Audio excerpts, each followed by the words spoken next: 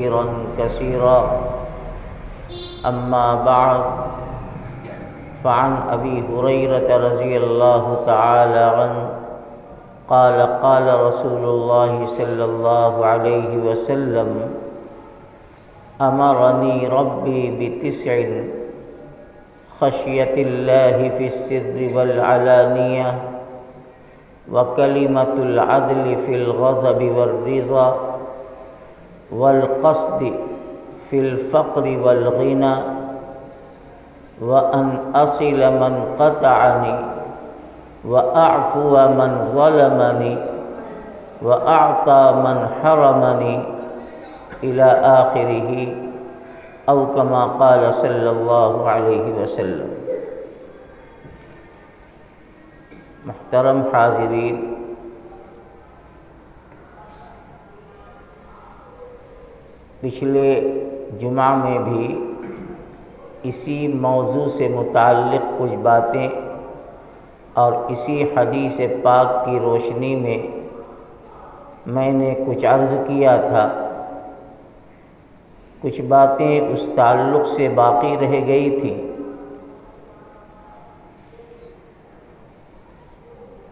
हज़रत अबू हुरैरा रज़ी अल्लाह तआला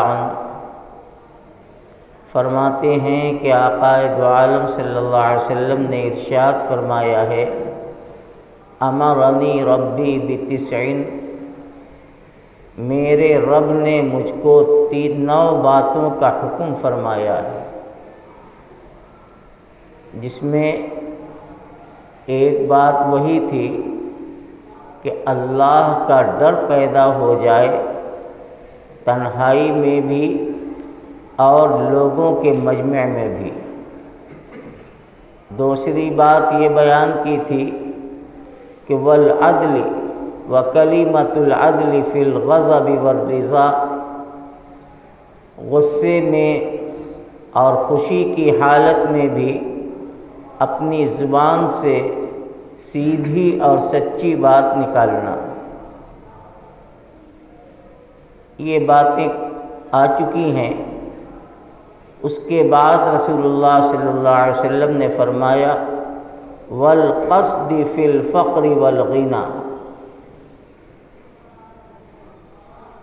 मालदारी और तंग दस्ती हर हाल में दरमियानी चाल चलना।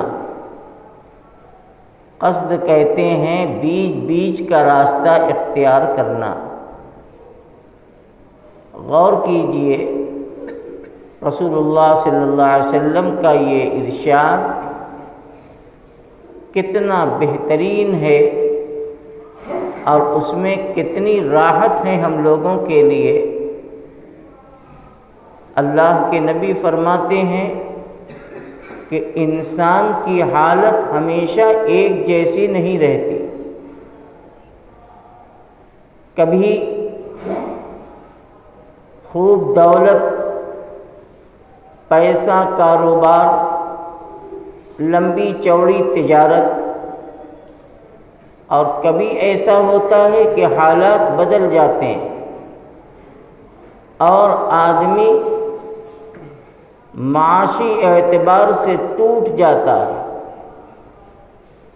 अपनी ज़रूरत पूरी करने में भी उसे दिक्कत आती है।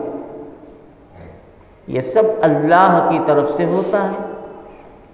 कभी किसी की हालत यकसा नहीं रहती, हालात बदलते रहते हैं।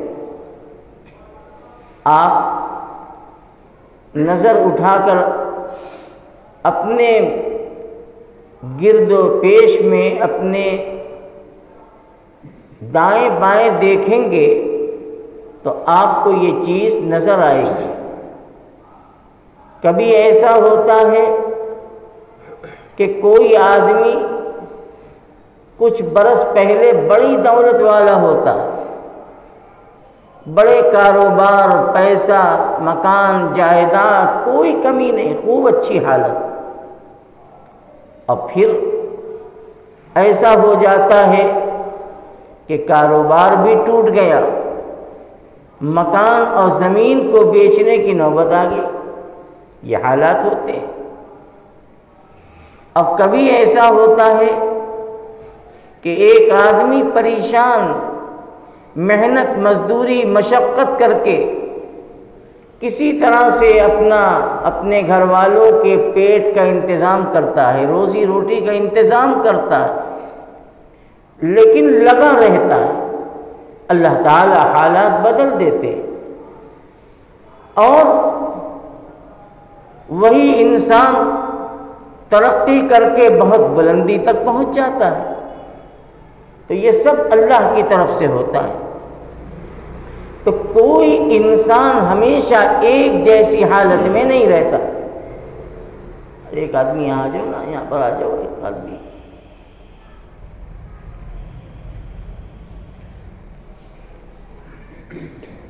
किसी की हालत यकसा नहीं रहती। ये निज़ाम कुदरत है। अगर सारे अमीर और दौलतमंद हो जाए तो मुलाजिमत कौन करेगा? घर का काम काज कौन करेगा? और अगर सारे के सारे मजबूर, तंगदस्त हो जाए तो उनकी ज़रूरत कैसे पूरी होगी? तो अल्लाह रब्बुल आलमीन का ये निज़ाम है कि अपने बंदों पर मुख्तलिफ़ तरह के हालात लाते रहते हैं। एक मेहनत मजदूरी करने वाला अगर कुदरत की तरफ़ से उसे तरक्की मिलना है तो वो आगे बढ़ जाता है। और एक आदमी बड़ी बुलंदी पर है। कुदरत की तरफ़ से फैसला होता है और उसके हाथ दबते हैं और वो कमज़ोर होता है, वो टूट जाता है। ये दुनिया का निज़ाम है। नबी करीम सलाम फरमाते हैं कि आदमी को अपने मामलात में दरमियानी चाल चलनी चाहिए। मियाना रवि अख्तियार करना चाहिए। अच्छे वक्त में बड़ाई तकबर गुरूर, घमंड अपनी दौलत की नुमाइश, ये अच्छी चीज़ नहीं है इस्लाम में। और जब परेशानी, मशक्क़त, कारोबारी दिक्कत आए तो बहुत ज़्यादा वावेला करने की भी ज़रूरत नहीं है। सब्र तहमुल से काम लो। और वो आदमी बड़ा कामयाब है। जो दोनों तरह की हालत में बीच का रास्ता इख्तियार करता है। मियाना रवि दरमियानी चाल चलता है। तो वो कामयाब होता है। और अगर ऐसा नहीं, आज है खूब उड़ रहे हैं। अपनी तकरीबात, अपने रहन सहन का मैार फ़ैशन के पीछे भागे जा रहे हैं। इसलिए कि पैसा है, कारोबार है, ज़रूरत से ज़्यादा आमदनी है, उड़े जा रहे हैं। अब खुदा न खास्ता कल हालात पलट गए तो फिर उसके बाद लोगों के ताने भी सुनने में आते हैं कि हवा निकल गई। सारा गुरूर खाक में मिल गया। अल्लाह के नबी फरमाते हैं कि तुम बीच का रास्ता इख्तियार करो। दौलत में भी दरमियानी चाल। और जब हाथ दब जाए तो भी दरमियानी चाल। तो कोई भाप नहीं पाएगा। किसी को पता भी नहीं चलेगा। और दरमियानी चाल अल्लाह को पसंद है। दीन के मामले में भी और दुनिया के मामले में भी। जो आदमी बीच बीच का रास्ता इख्तियार करता है, वो कामयाब हो जाता है। दीन का भी यही मामला है कि जब जोश आया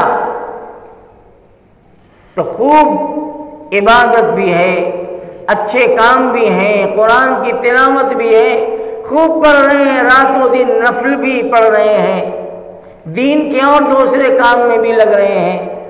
और जब छूट गया तो फिर उसके बाद ऐसा छूटा कि पलट के देखा भी नहीं। अल्लाह को ऐसा अमल पसंद नहीं। नबी करीम सलाम फरमाते हैं, खैरुल अमल अवसात है बेहतरीन अमल बीच बीच का अमल है।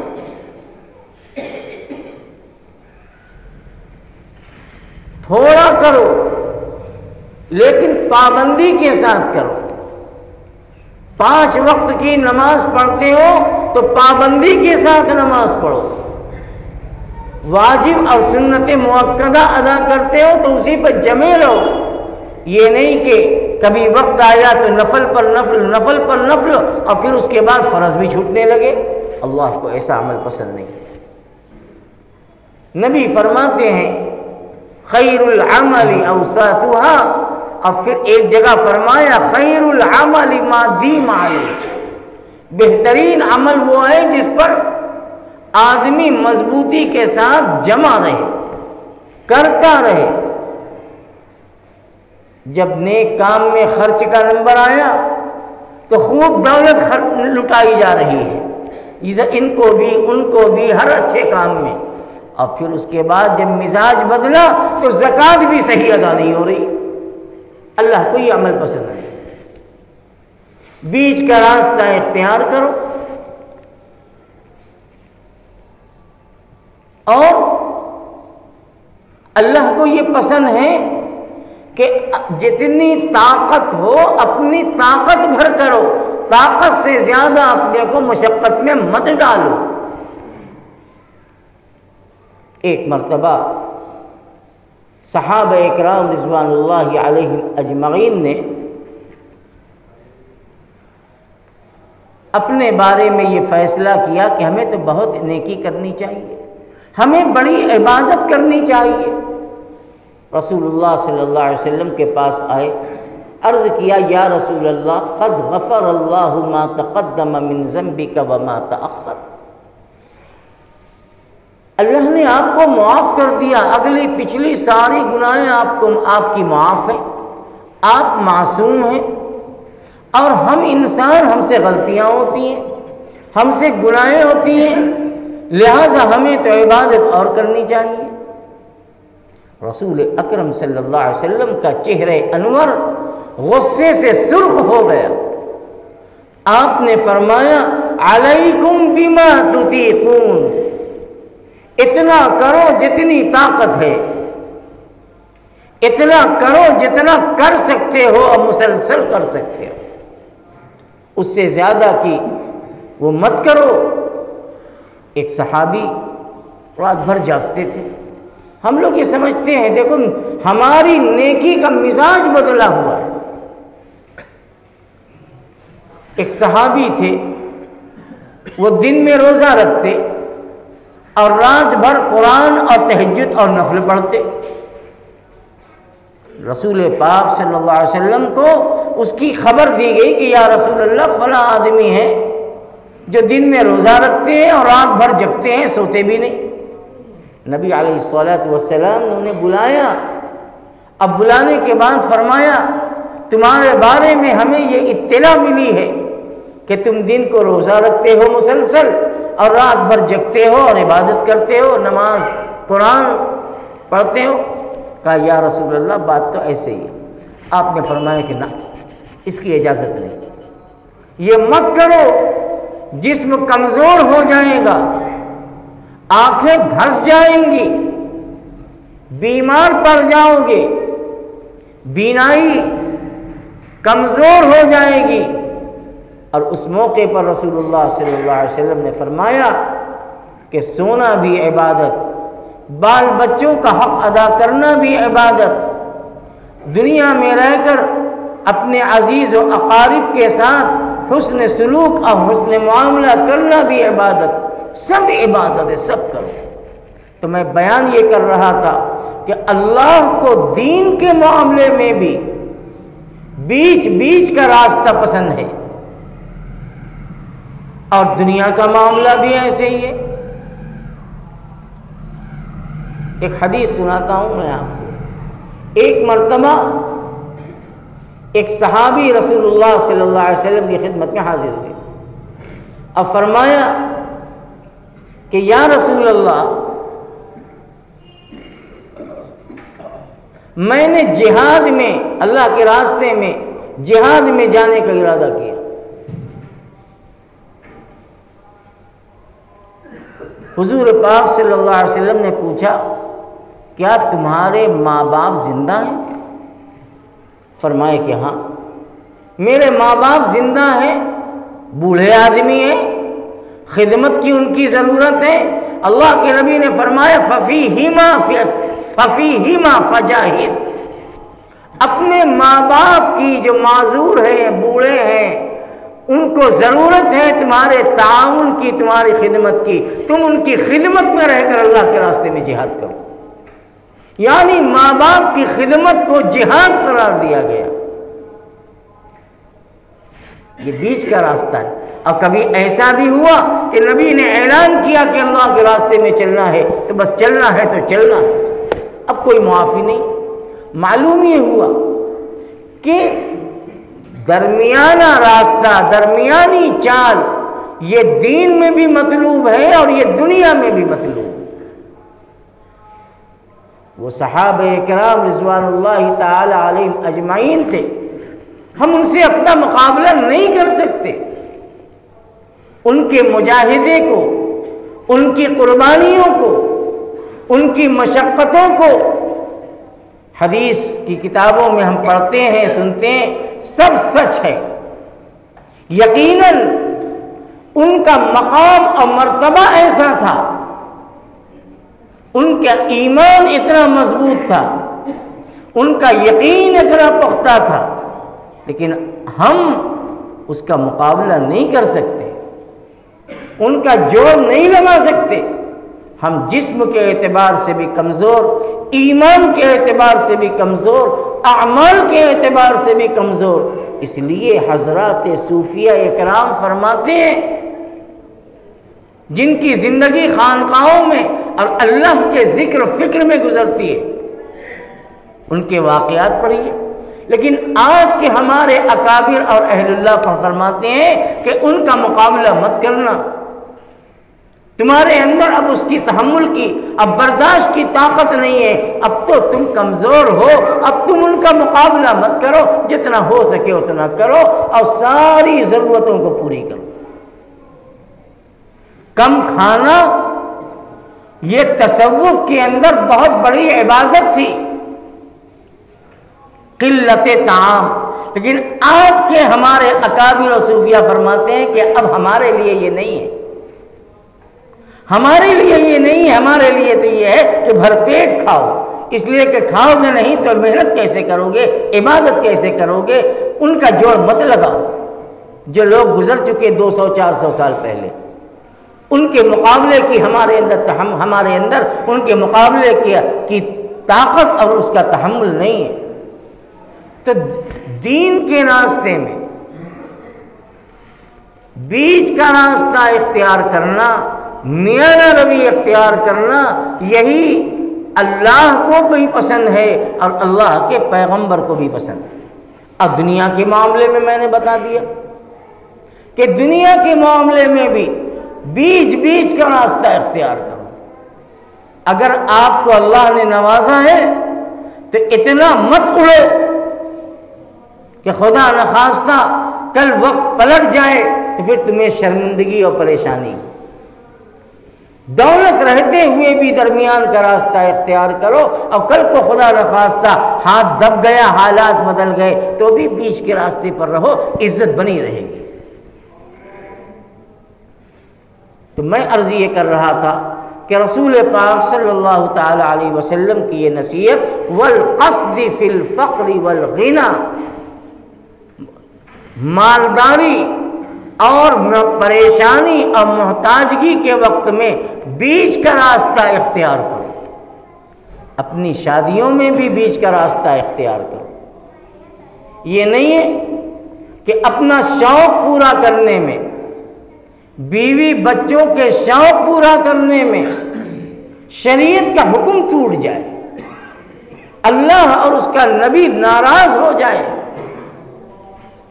कि बिल्कुल अल्लाह के नज़दीक पसंदीदा चीज़ कब किसके साथ क्या हो जाए? अल्लाह की पकड़ आ जाए। कोई नहीं जानता। किसके ऊपर क्या गुजरने वाली है? आने वाला हमारा दिन कैसा होने वाला है? हर अमल में अल्लाह की तरफ़ तवज्जो, अल्लाह से डरना, अब बीच का रास्ता अख्तियार करना। इस्लाम के ने हमें मना नहीं किया है। लेकिन बस ये पाबंदी लगाई कि जायज़ हदूद में रहते हुए अपनी खुशी का भी इजहार करो और जायज़ हदूद में रहते हुए अपने गमी का भी इजहार करो। शादी हो तो भी दायरे में रहो और कहीं गमी हो जाए तो भी दायरे में रहो।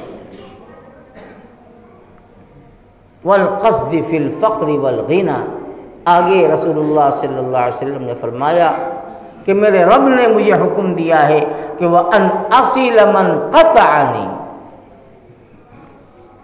कि जो आदमी मुझसे रिश्ता तोड़े, हम उससे रिश्तों को जोड़ें। ये नबी की तालीम है। कता ताल्लुक करना, बात बात पर नाराज़ हो जाना, बोलचाल बंद कर देना बिगाड़ कर लेना कि न उनको अपने यहाँ बुलाना है शादी में, न गमी में वो मेरे यहाँ है इस्लाम के अंदर इससे बड़ा कोई गुनाह नहीं है। आकाए दो आलम ने बड़ी सख्त वाइस सुनाई है उन लोगों को जो अपने रिश्तेदारों से मिलने जुलने वालों से कता ताल्लुक और बिगाड़ कर लेते हैं। थोड़ा सा इख्तिलाफ हो गया थोड़ा सा मिजाज नहीं मिला, बस बोल चाल बंद, चेहरा देखना बंद।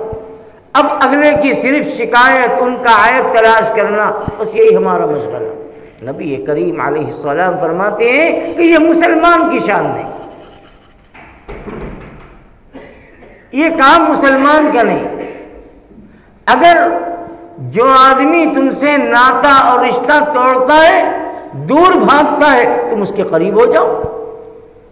वो तुमसे नहीं बोलता, तुम उसको सलाम करो, उसकी खैरियत मालूम करो। उससे तुम्हारी ना, वो तुमसे नाराज़ है, वो बीमार पड़ गया, उसके मिजाज पुरसी और उसकी अयादत के लिए उसके घर चले जाओ। ये इस्लाम का तरीका है। ये नबी की ज़िंदगी और नबी की सुन्नत और सीरत है। तो आपने फरमाया वह अन असील मन कतानी। जो आदमी रिश्ता काटे, तुम उसके रिश्तों को जोड़ दो। रसूल अकरम सल्लल्लाहु अलैहि वसल्लम ने तो अपने दुश्मनों से भी कता ताल्लुक़ नहीं फरमाया। दुनियावी मामला में वही हुस्न सलूक वही शफकत और मोहब्बत से गुफ्तगु, वही मुलाकात, वही बात, सब कुछ। जबकि वो आपका दुश्मन, आपके दीन का मुखालिफ, आपकी लाई हुई शरीयत का मुखालिफ। लेकिन आपकी सीरत यह है कि ताल्लुकात नहीं बिगाड़े आपने। यही वो बुलंद अखलाक था जिसने मक्का वालों के पत्थर जैसे सख्त दिल को मोम बना दिया। आपने करके दिखाया, अपनी ज़ुबान से उसे बता दिया कि वह अन असिल मन कता आगे फरमाया, वह आफू मन मनी जो आदमी ज्यादती करे, तुम्हारे साथ नाइंसाफी करे, हक तलफी करे, हक तोड़े, हक मार दे आपने फरमाया वह आफ हुआ मन मनी उसे मुआफ कर उसे दरगुजर कर दो। आज हमारे यहाँ बहुत आसान लफ्ज़ है। कभी किसी से कोई मामला होता है, कहते हैं कि माशर के मैदान में हम तुम्हारा दामन पकड़ेंगे। बहुत से लोग कहते हैं, ज़रा सा कुछ हुआ, ठीक है महशर के मैदान में दामन पकड़ेंगे। ये बहुत आसान नहीं है। अपनी ज़िंदगी टटोलो। कहीं ऐसा ना हो कि तुम दूसरों का दामन पकड़ने के लिए जाओ और पीछे से कोई तुम्हारा दामन खींच रहा हो। ये इतना आसान नहीं जितनी आसानी से हम ज़ुबान से ही जुमला निकालते हैं कि चलो देखेंगे मैं, क़यामत में तुम्हारा दामन पकड़ेंगे। पहले अपने दामन को पकड़ने से तो बचाओ। हमारे ऊपर खुद दूसरों का हक है। और दूसर, अपना हक दूसरों से वसूल करना चाहते हैं और नहीं देता तो कहते हैं कि दामन पकड़ेंगे। नबी फरमाते हैं वह आफू मन मन जो जुल्म करता है ना इंसाफी करता है, ज्यादती करता है, दिल गुर्दे की बात यह है कि तुम उसे दरगुजर कर। अपने मामला को साफ़ कर। लो कल को मैशर के मैदान में हम जिसके दामन की तलाश में हैं, हो सकता है कि उससे ज़्यादा लोग मेरे दामन की तलाश में हैं। कि कहाँ है उसका दामन पकड़ा जाए? इसलिए मेरे भाई, ये बहुत डरने की बात है। ये जुमले कहने में बड़े आसान हैं, हल्के फुल्के हैं, लेकिन उस दिन तो खुदा जाने क्या होगा क्या सूरत हाल होगी? आगे रसूलुल्लाह सल्लल्लाहु अलैहि वसल्लम ने फरमाया, वह आका मन हरामनी। मेरे अल्लाह ने हमें यह हुक्म दिया है कि जो हमें न दे, हम उसे दें। हमारा हक नहीं दे रहा है। हमारा पैसा नहीं दे रहा है। हमारा हिसाब नहीं दे रहा है। तो ऐसा नहीं है कि उसके न देने की वजह से हम दूसरों का रोक दें। अगर हमारे पास वसात है, ताकत है, अगर हमारा रुका हुआ है तो उसकी वजह से हम सामने वाले का न रोकें। आज ये बहुत ज़्यादा हो रहा है।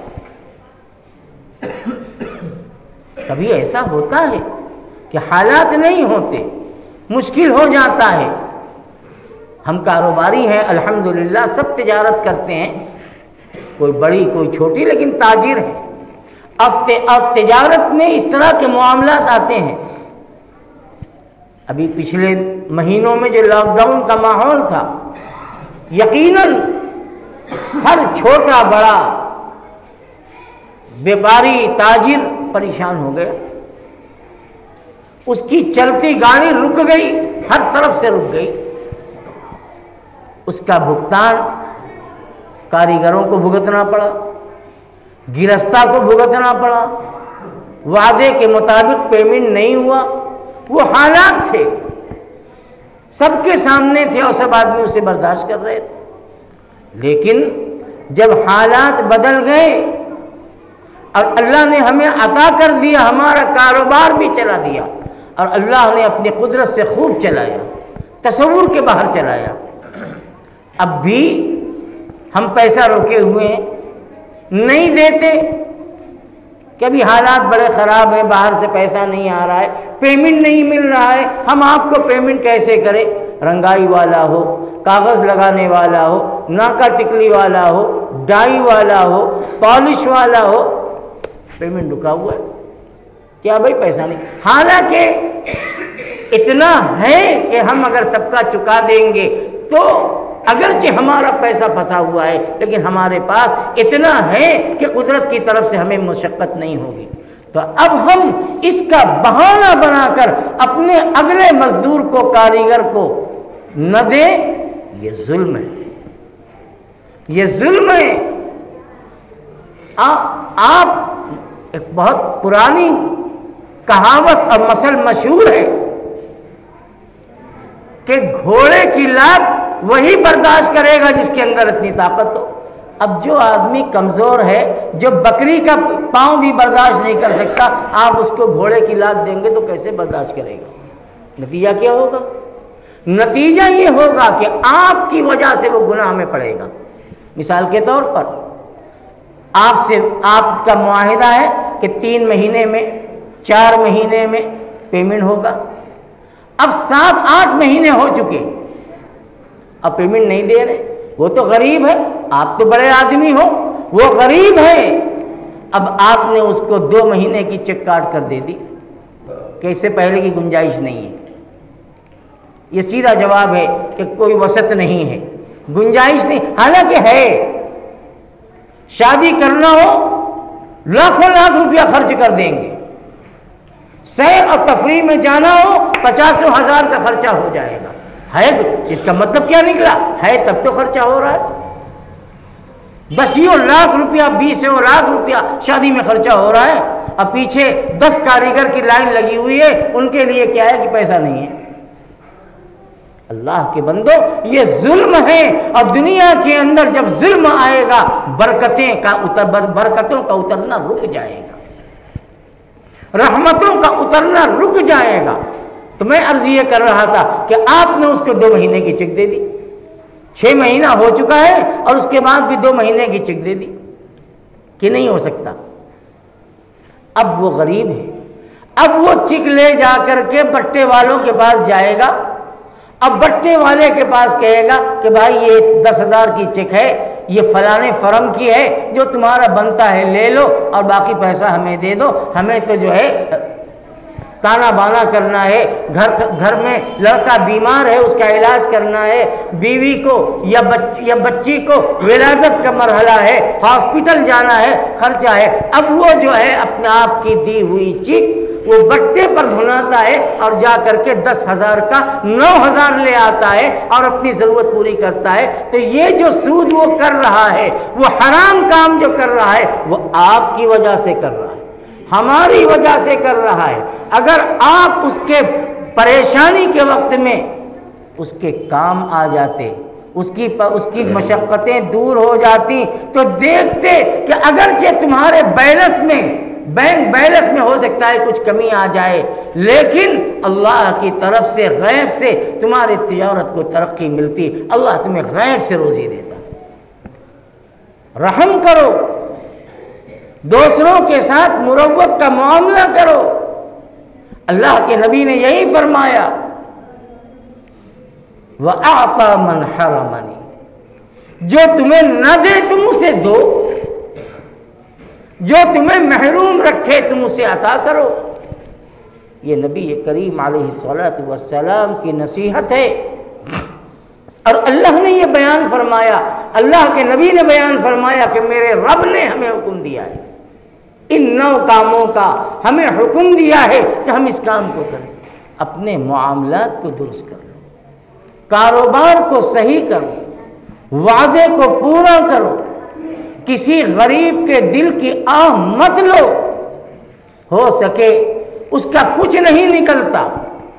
या निकलता है, लेकिन वादे के मुताबिक अभी टाइम नहीं हुआ है। लेकिन आज उसको ज़रूरत है, अल्लाह ने तुम्हें दिया है तो तुम वादे को पीछे कर दो और आज उसकी ज़रूरत पूरी कर दो। देखो अल्लाह तुम्हारे साथ क्या करता है। अल्लाह के यहाँ बेहतरीन इबादत ये है। बेहतरीन इबादत अल्लाह के ये के यहाँ ये है कि अल्लाह के बंदों के साथ हुसन सलूक का मामला किया। अल्लाह के नबी फरमाते हैं, फ़अहब्बुल मन अहसन अल्लाह के नज़दीक महबूब और बेहतरीन इंसान वो है जो अल्लाह के बंदों के साथ अच्छा सलूक करता है। यही नबी सलाम की तालीम है और यही आपकी सीरत है। अल्लाह ताला हमारे अंदर से जो कमी, कोताही, कमज़ोरी है, अल्लाह उसे निकाल दे और हमें दुनिया और दीन के मामले में सिरात मुस्तकीम पर चलने की तोफ़ी अता फ़रमाए। व आखिर दावाना अनिलहमदिल्ला रब्बिल आलमीन।